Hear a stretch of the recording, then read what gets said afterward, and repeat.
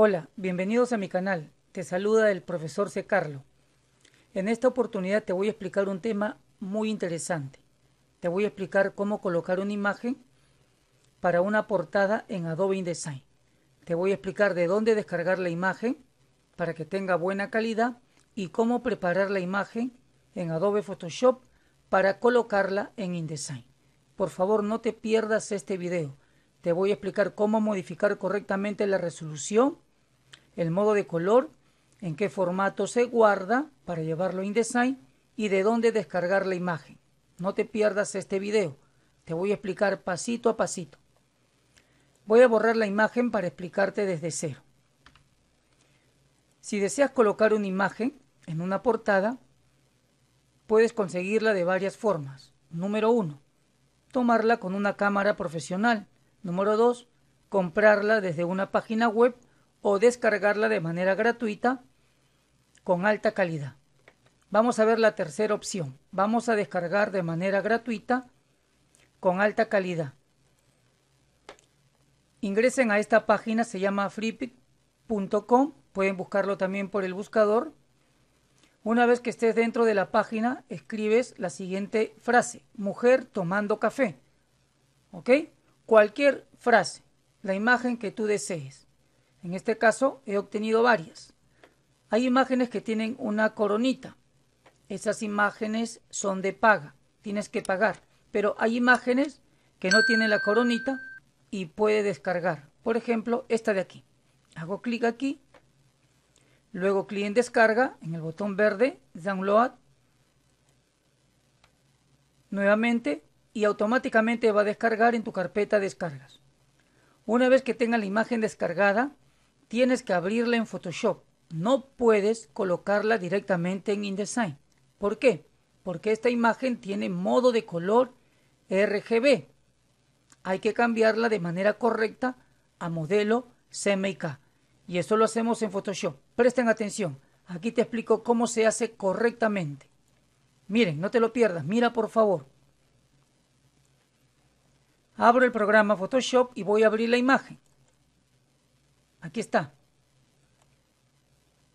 Si te sale este cuadrito vas a seleccionar la primera opción, usar, usar el perfil incrustado. ¿Qué quiere decir? El perfil de la misma imagen, el perfil de color de la misma imagen, para que no se altere. Luego lo cambiamos aquí en Photoshop. Listo, aquí tenemos la imagen.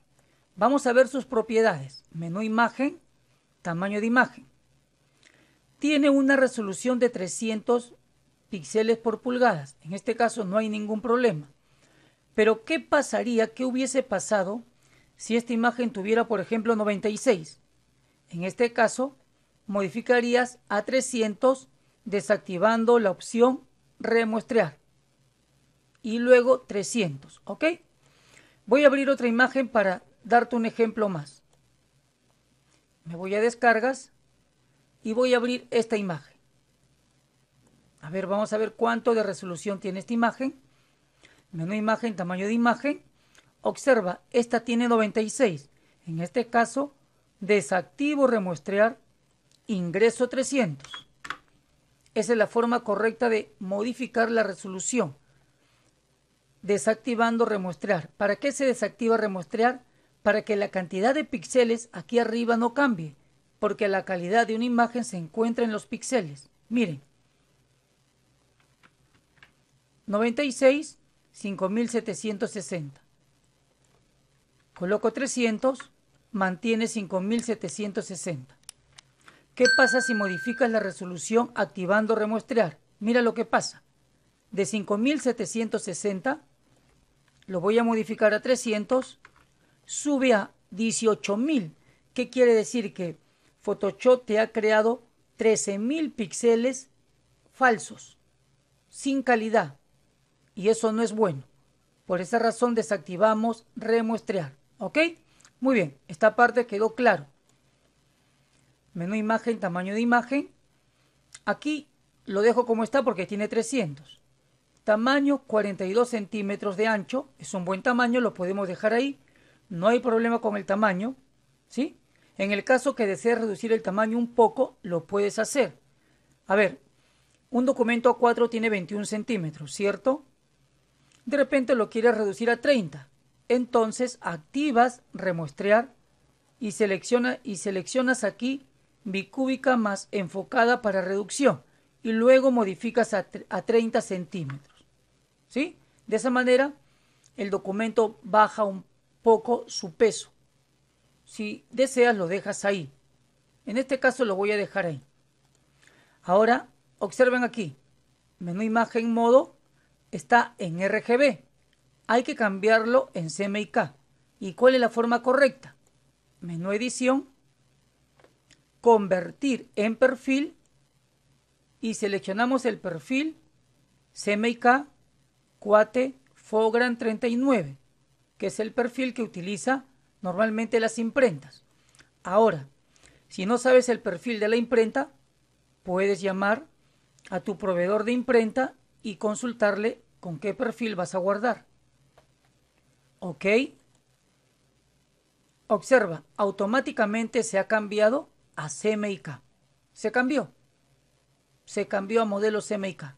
No te olvides, menú edición, convertir en perfil, espacio de trabajo CMYK Cuate Fogra 39. Ahora sí, vamos a guardar. ¿Con qué formato se guarda para Adobe InDesign? Puedes llevar imágenes en JPG siempre y cuando las imágenes en JPG no han sido muy manipuladas. ¿Por qué? Porque cuando una imagen JPG se manipula demasiado, tiende a perder calidad. Si es así, mejor guardarlas en formato TIFF. T-I-F, TIFF. Pero si una imagen no se ha manipulado mucho y viene de alta calidad y solo has modificado la resolución, puedes guardar en JPG. Pero te recomendamos en formato TIFF. Lo hacemos de la siguiente forma. Menú archivo, guardar como. Vas a seleccionar TIFF. Vas a ingresar el nombre de la imagen ¿sí? Portada. Hay que guardar la imagen en la misma carpeta donde está el archivo de InDesign. Sí, no te olvides. Siempre se guarda en la misma carpeta donde está el archivo de InDesign. Para que los vínculos no se rompan. Así que lo voy a guardar aquí. ¿Listo? Lo dejo como está, con presión ninguna. Todo lo demás como está. Excelente. Ya está guardada la imagen. Me voy a InDesign. Voy a presionar la tecla W, W. De esta manera puedo ver las guías y la demasía. Y voy a colocar la imagen. Menú archivo colocar o control D de dedo. Miren, control D de dedo. ¿Sí?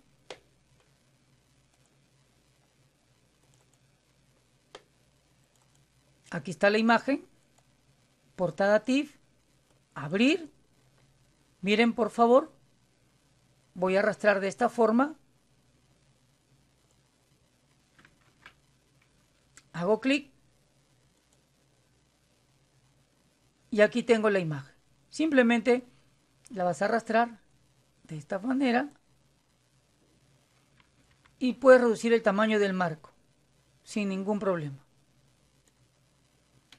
¿Sí?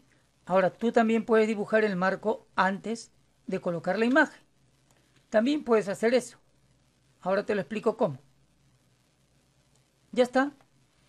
Haces clic en el medio de la imagen para poder moverla si tú deseas. ¿Sí? También puedes importarla de esta manera. Dibujas un rectángulo, observa hasta la demasía control D de dedo, seleccionas la imagen y abrir.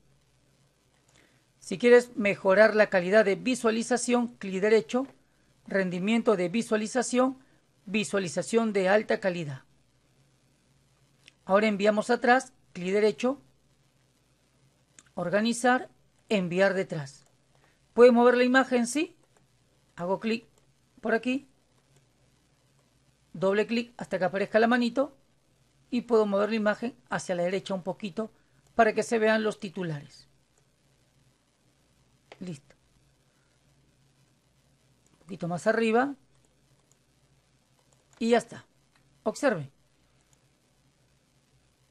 W. Vamos a aumentar un poquito más el ancho del marco hasta la demasía y quedaría de esta forma la imagen de nuestra portada. Ya saben, número uno, la imagen debe ser profesional y de alta calidad. A través de una cámara digital profesional o semiprofesional, o comprarla por internet en esta página, o descargarla también de manera gratuita para tus proyectos. ¿Sí? Pero no te olvides, lo más importante, debe pasar por control de calidad, por Photoshop. En Photoshop debes, debes modificar la resolución correctamente, el modo de color y el formato de archivo. ¿Ok? Hemos terminado, repite el video y practícalo por favor. Cualquier consulta, me escribes en los comentarios, ¿sí? Y no te olvides suscribirte a mi canal. Si deseas llevar el curso de diseño gráfico, en la descripción te dejo el link a mi WhatsApp para que me escribas. Hemos terminado con ustedes el profesor C. Carlo. Nos vemos hasta la próxima. Bye. Gracias totales. Nos vemos.